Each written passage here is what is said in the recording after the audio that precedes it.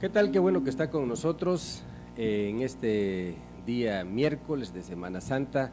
Estamos en la entrevista agradecidos por su preferencia como siempre. Hoy en la entrevista nos acompaña el licenciado Ricardo Campo Fernández, quien es el secretario de Desarrollo Energético del Gobierno del Estado de Campeche.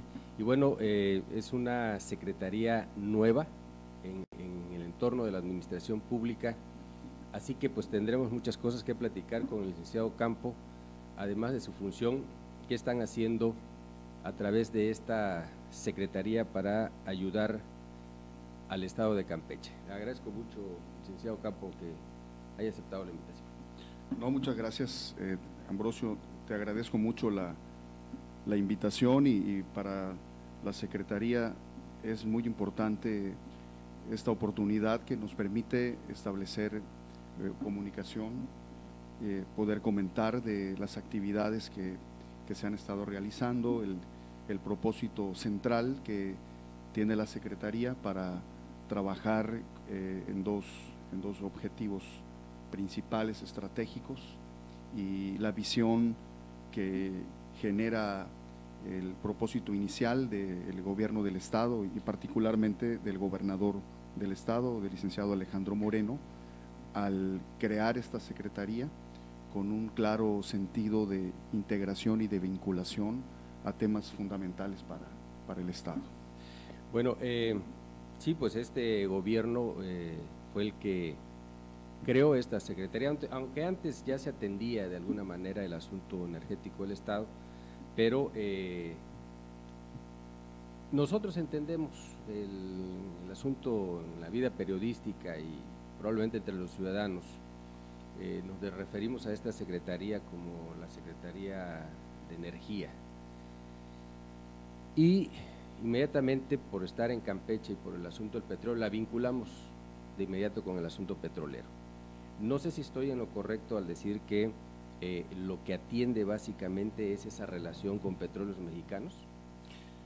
Sí, es, correcto. El, el sentido eh, de la creación de la Secretaría eh, hace un trazo eh, principal hacia dos, dos líneas estratégicas que están enmarcadas en el Plan Estatal de Desarrollo y que también corresponde a las atribuciones que tiene la Secretaría en la Ley Orgánica de la Administración Pública y que tiene su orientación en el tema de hidrocarburos, en el tema del desarrollo energético de la zona, eh, eh, particularmente por la eh, experiencia que se ha desarrollado en Campeche a lo largo de los más de 35 años que se viene trabajando, como todos conocemos, Campeche es, una, es un estado que ha tenido una gran vocación en el tema de, del petróleo y el desarrollo que se ha generado en, en estos últimos años pues ha sido en estos últimos años ha sido complejo, pero a lo largo de más de 35 años ha sido Campeche la plataforma logística de operaciones. El, eh, Campeche eh, es el estado que ha aportado el, principal producto, el petróleo, a lo largo de, toda esta etapa. ¿no? Y, lo acaba de decir, perdón, el presidente el sábado en la Plaza de la República. Hay un reconocimiento, es muy importante. Hay un reconocimiento porque sin duda este, no, ha existido una compensación. las aportaciones que ha dado Campeche al país, la generación de la riqueza, la producción nacional que se ha dado a lo largo de todos estos años, incluyendo este periodo crítico y este periodo complejo que hemos vivido en los últimos tres años, cuatro años casi. Este, bueno, eh, eh, aún así, este, Campeche no dejó de ser el factor principal de aportación de petróleo y gas a nivel nacional. Y, hay que decirlo, ciertamente el, complejo Cantarel, que es un complejo el más importante en la historia de México y de los más importantes en el mundo, este, hoy ciertamente es un complejo este, que está ha declinado, eh, estamos hablando de, capacidades de producción en este momento sobre 150 mil barriles de producción diaria, cuando estuvo en 2 millones. Sin embargo, 150 eh, mil barriles y poniéndolo en contexto, es una producción importante. O sea, hay países que no tienen esa producción y, un solo complejo, todavía a pesar de su proceso declinatorio, sigue siendo aportador en, una, en el conjunto de una plataforma de producción eh, que en este momento está sobre el millón setecientos mil barriles diarios de producción nacional. Bueno, ahí está presente eh, eh, aportando Cantarel 150 mil barriles, siendo por supuesto el complejo Kumalopsap el más importante, ¿no? con una producción superior a los 800 mil barriles diarios. En ese contexto, el Campeche ha sido y sigue siendo este, la entidad que aporta, que genera la riqueza petrolera y por eso es muy importante todo el, respaldo que el gobierno del Estado y el gobernador Alejandro Moreno le ha dado eh, a, la industria del petróleo en los momentos difíciles de estos años pasados. El gobernador instruyó una estrategia de atención y de apoyo a, la industria petrolera, particularmente en Ciudad del Carmen, por la crisis, por los momentos difíciles. interrumpo por un paréntesis, licenciado Campo. Eh, nosotros en, los periodistas, eh, lo, he referido en lo particular muchas veces, hablamos de una pérdida de empleos en la zona de Carmen de entre 35 mil y 40 mil empleos. ¿Hay una cifra correcta, completa, eh, precisa del número de empleos que se perdieron en la crisis esta del 2014-2015? Sí, hay, una cifra que por supuesto eh, está sobre los 35 mil empleos pues, que están integrados. Eh, ¿Cómo se integra una cifra? Eh, se integra porque empieza el tema concretamente con el momento de oceanografía, en donde hay una crisis en oceanografía, que era una empresa muy importante, este, con, tenía contratos muy significativos con petróleos mexicanos y por supuesto que generaba muchos empleos. Entonces ahí hay un proceso primero de, pérdida de empleo, pero igualmente Petróleos Mexicanos tenía esquemas de contratación outsourcing y, esos prácticamente los llevó a cero. los, programas que las empresas, que contratistas, las empresas petroleras nacionales e internacionales redujeron sus programas y, en consecuencia también redujeron sus plantillas. Entonces, eh, eh, esa suma eh, integra un promedio de 35 mil empleos que fueron que, que, se perdieron y que fueron parte de esta crisis dura que, se ha vivido y que afortunadamente eh, eh, estamos ya inmersos en, una etapa diferente, estamos eh, viviendo un momento ya de recuperación en donde las condiciones empiezan a ser afortunadamente otras, la perspectiva es buena, hay que trabajar fuerte y ahí está el compromiso del gobierno del Estado y del gobernador de estar totalmente en coordinación estratégica con el sector, con, las cámaras, con el propio Consejo Coordinador, para impulsar de manera decidida este crecimiento y este desarrollo. ¿Le toca a, la Secretaría de Desarrollo Energético lo que está ocurriendo hoy con las zonas económicas especiales? Es decir, está en revisión en Hacienda, según hasta donde sabemos que hay la intención de un replanteamiento del proyecto eh, el argumento que hemos escuchado es que en otros países estas zonas económicas no han funcionado, no han generado nada y, por eso eh, Hacienda eh, llama a los estados involucrados a una revisión, un replanteamiento, probable cambio de nombre. ¿Le toca a, desarrollo energético? Sí, no, no, no en, en este planteamiento inicial, este, no, o sea, en lo que se, en la forma como se, se integró la propuesta, eh, no están los temas este, del petróleo vinculados en, zonas económicas eh, por un tema estratégico, por un tema de, plantear eh, la diversificación en la economía en el Estado.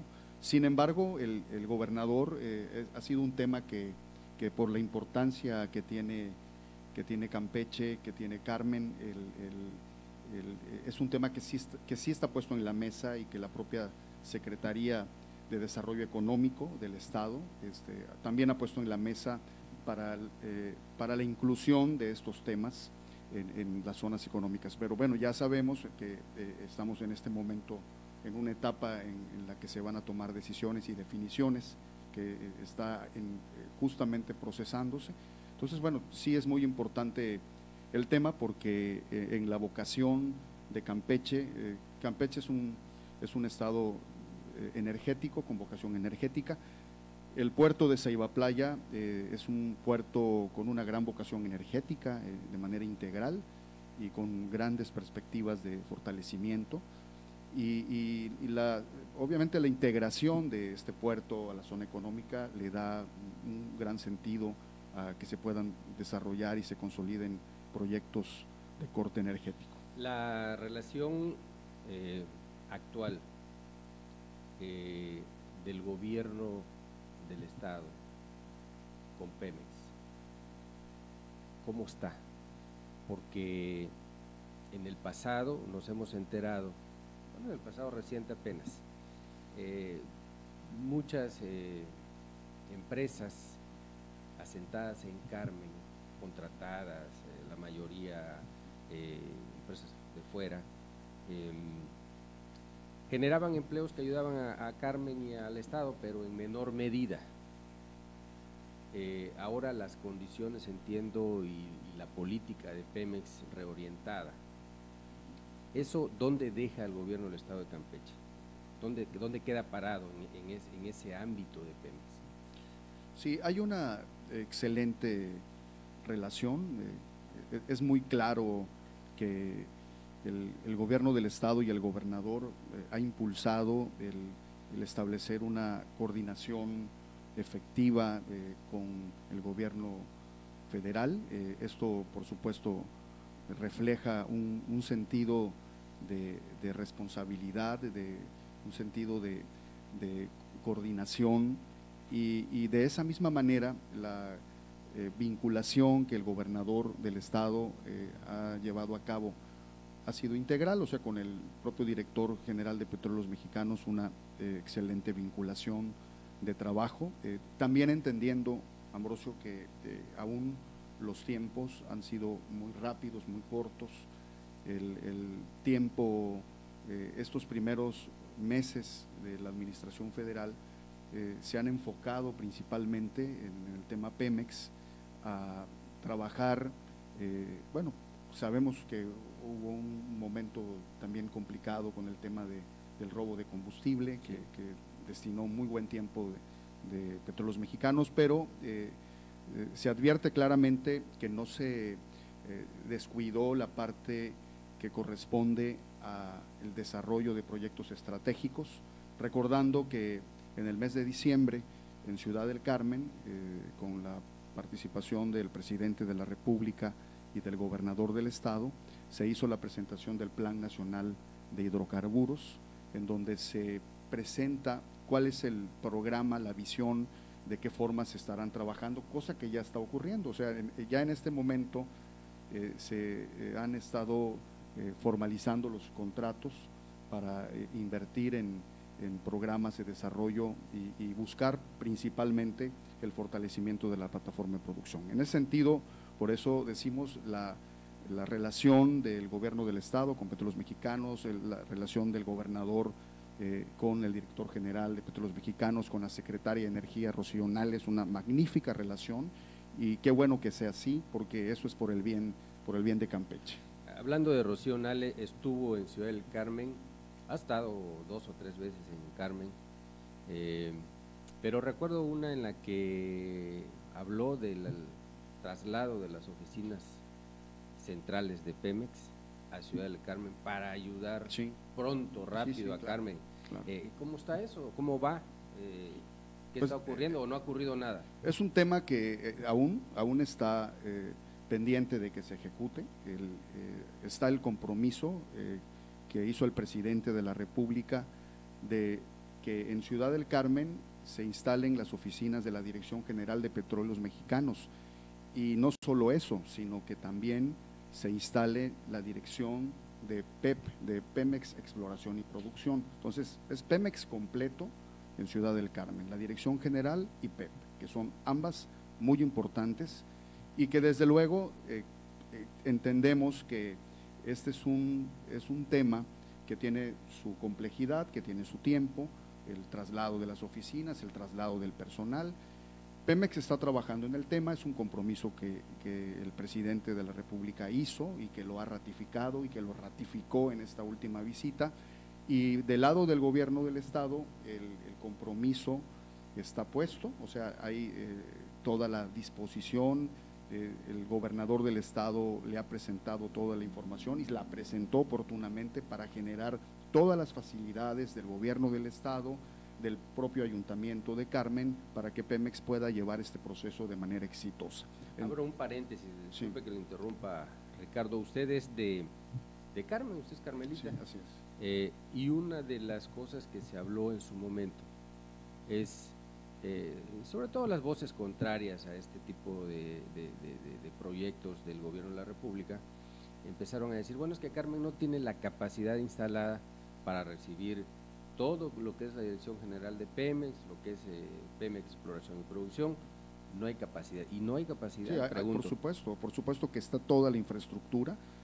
Carmen es la plataforma logística de México, de, Pemex, es la plataforma, es la capital petrolera de México, es, es la, por muchos años se ha perfeccionado como plataforma logística de operación y, Carmen tiene toda una infraestructura, precisamente eh, eh, es a partir de los procesos de disminución de, las inversiones en los contratos, en las perforaciones, en las exploraciones, todos los programas que, se venían desarrollando, cuando empiezan a pararse, pues justamente la infraestructura hotelera, los servicios, los restaurantes, los negocios inmobiliarios, o sea, toda la parte que corresponde a todo ese soporte logístico, técnico, eh, todo ese personal calificado, ingenieros eh, que eh, están perfectamente preparados, este, están, están puestos y, Carmen tiene todas las condiciones para poder operar y poder atender la instalación de las oficinas. se dejó constancia, Ambrosio, igual de, de, oficinas, instalaciones que fueron desocupadas este, en este momento que se vivió. Entonces, eh, yo creo que esa información es, eh, que Carmen no se, encontraba preparado fue totalmente tendenciosa, falsa. Este, Carmen está perfectamente preparado, tiene la capacidad, tiene los servicios, tiene las instituciones educativas, tiene los servicios de salud, hay una infraestructura de servicios preparada para poder trabajar. Lo ha hecho, lo ha hecho a lo largo de todos estos años y, ciertamente de origen eh, eh, no se tuvo la mejor planeación cuando hablamos de hace 40 años que llegó Petróleos Mexicanos eh, a la isla, cuando empezaron los trabajos, bueno, sí se tuvo que hacer un trabajo de ir adecuando, de ir ajustando cosas, pero, pero bueno, el mismo puerto de la isla, que tuvo un origen pesquero, este, así, se, así se diseñó y así se construyó. Bueno, hoy eh, lo que hay es un puerto industrial petrolero, o sea, una, un proceso de transición y de transformación de, lo, de los servicios que se prestaban ahí a hoy eh, tener una infraestructura muy diferente, ¿no? Muelles preparados con capacidad de carga para grúas de 80, 100 toneladas, 200 toneladas, eh, la operación logística y, hoy habría que también decir que el gobernador eh, ha impulsado en estos años, en estos tres años y medio, el desarrollo de una infraestructura portuaria que está puesta en, Ciudad del Carmen y que refiere de 900 metros de frente lineales de atraque, nuevos, nuevecitos, con una superficie nueva de puerto de más de 14 hectáreas, en donde la Administración Portuaria Integral ha desarrollado un trabajo muy importante con el apoyo del gobernador eh, eh, y que, esto eh, está muy a tiempo con este momento que se está, que se está viviendo. Aquí fíjate, Ambrosio, quiero comentarte que antier subimos, tuvimos una reunión que nos indicó el gobernador para estar en, Carmen, para que en conjunto con, con, el licenciado Alejandro Manzanilla, el director de, de API, tuvimos una visita al área nueva del puerto, eh, porque una empresa local, una empresa 100% eh, carmelita, ganó un contrato muy importante eh, para este, en este proyecto, en este programa del Plan Nacional de Hidrocarburos. Es una Marinza, que, cuyo presidente es José Luis Zavala, este, tiene un contrato importante sobre más de 240 millones de dólares. Entonces, es una empresa que va a operar desde Carmen, es una empresa que fue al, área nueva del puerto y, va a ocupar, eh, prácticamente va a ser el primero que empiece a operar en las áreas nuevas que se están terminando prácticamente. Entonces, eso refleja que, hay una, no obstante de, los momentos que se han vivido, eh, el gobierno del Estado eh, ha continuado trabajando, preparando las condiciones, las instalaciones, la logística y permite hoy que una empresa local opere desde Carmen, genere oportunidades para las empresas locales, genere oportunidades para los empleos locales. ¿Hay, este, algún plazo probable o, o estamos hablando del sexenio para lograr eso de que Pemex y áreas estén en Carmen? O sea, no hay un plazo preciso, ¿no?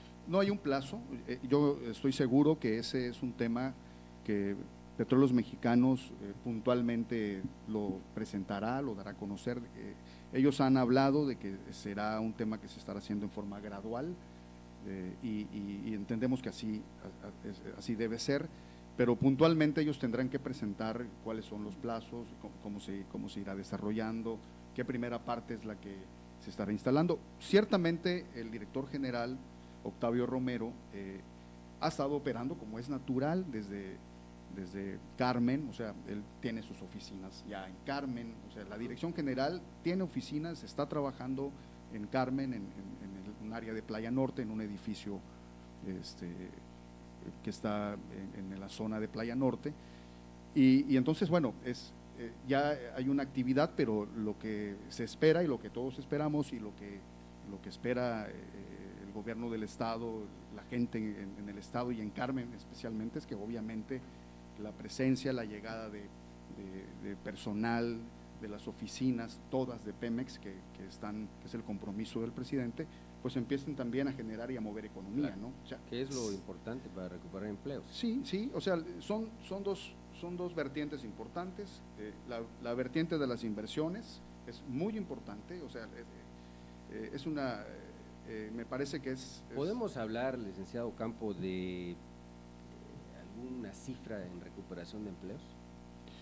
Pues mira, en este momento todavía es, sí hay, hay, cifras este, que se están reflejando de manera diferente en empresas.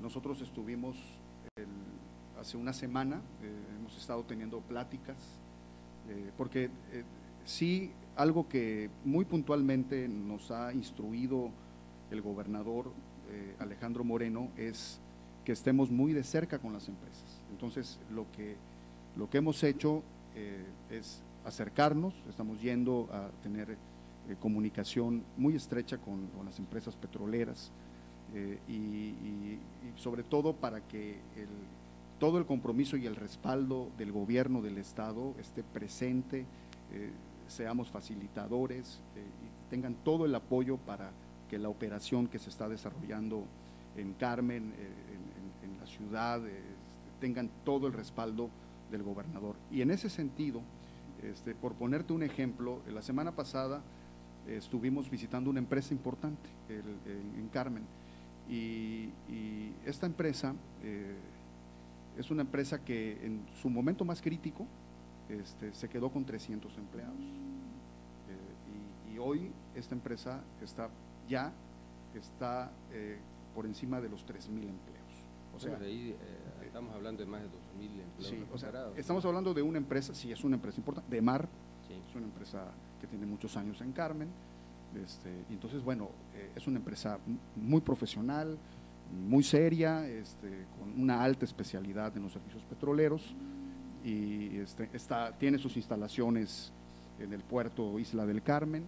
Entonces, bueno, eh, esto nos refleja cómo eh, se están dando las recuperaciones. Claro, estamos hablando de una empresa, no quiere decir que, que este es un tema que se repite eh, con todas las empresas. hay otras que están creciendo más despacio.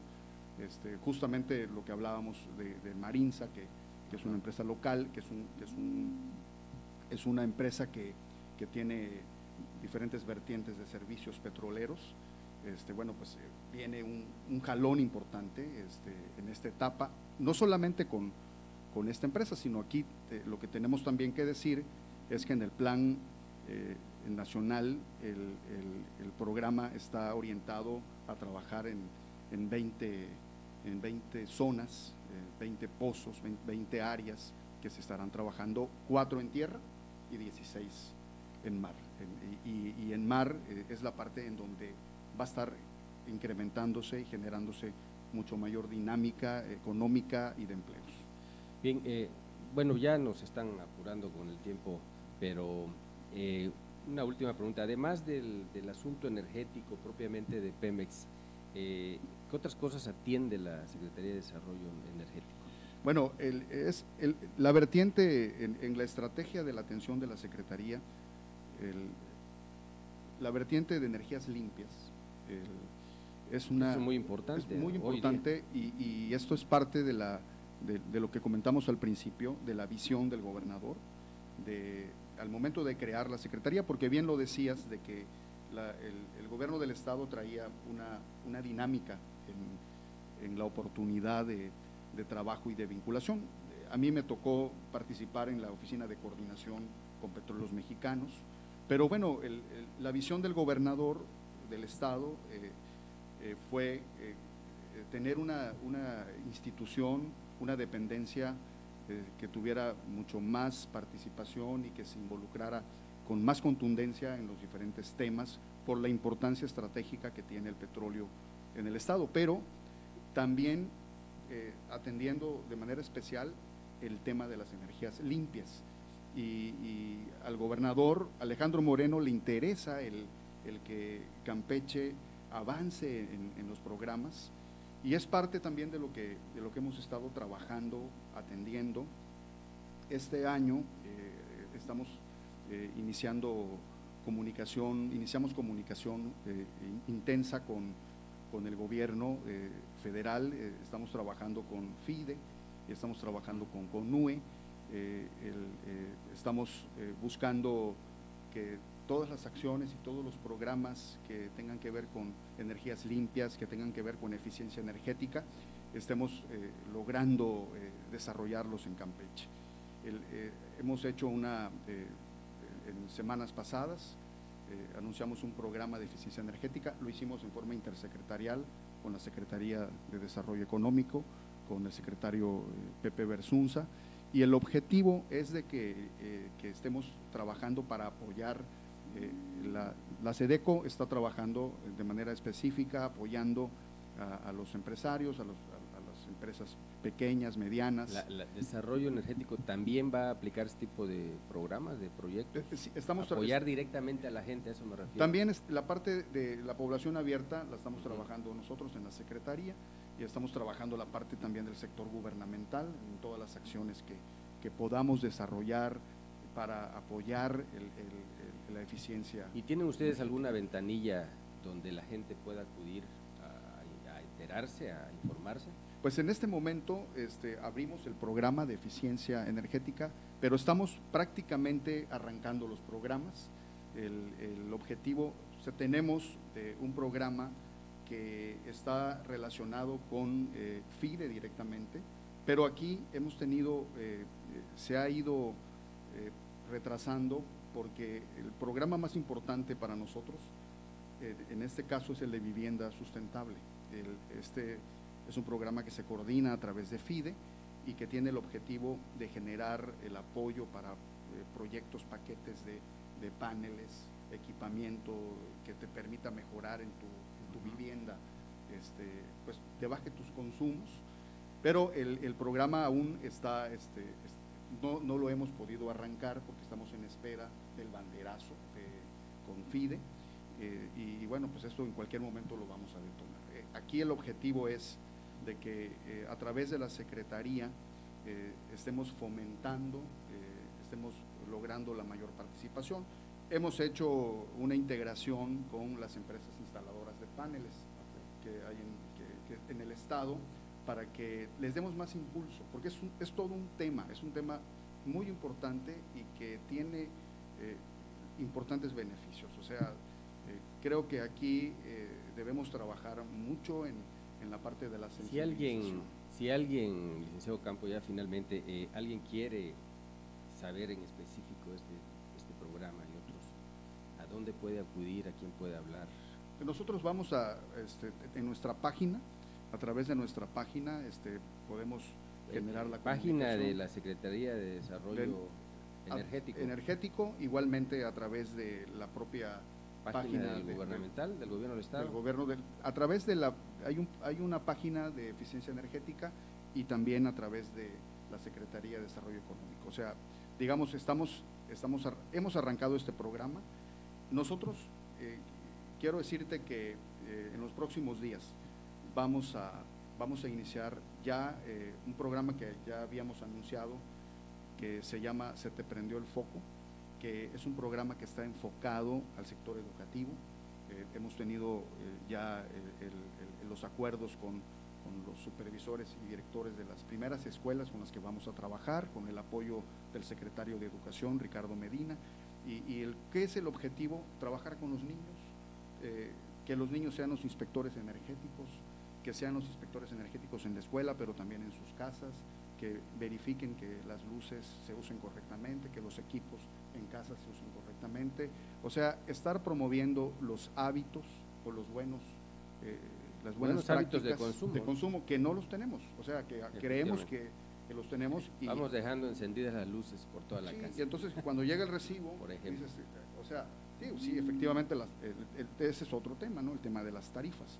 Este, pero, pero también sí tenemos que hacer nuestra labor eh, cuidando, eh, haciendo un buen uso eh, de las prácticas, de los hábitos que debemos tener en casa. ¿no? Entonces, vamos a hacer este programa en, el mes de, en el mes de marzo, en este mes de marzo que pasó, este, hicimos un, el 7 de marzo, iniciamos un programa con una, con una fundación que se llama Sustentabilidad México y con una asociación internacional WRI que tiene apoyo de la ONU, eh, del acelerador para, eh, disminuir eh, consumos de eficiencia energética. O sea, ya estamos trabajando con este acelerador, trabajamos con las cámaras, con el Consejo Coordinador que participó, y, bueno, hay, por eso el tema, el tema de energías limpias es muy amplio, hay mucho trabajo que hacer.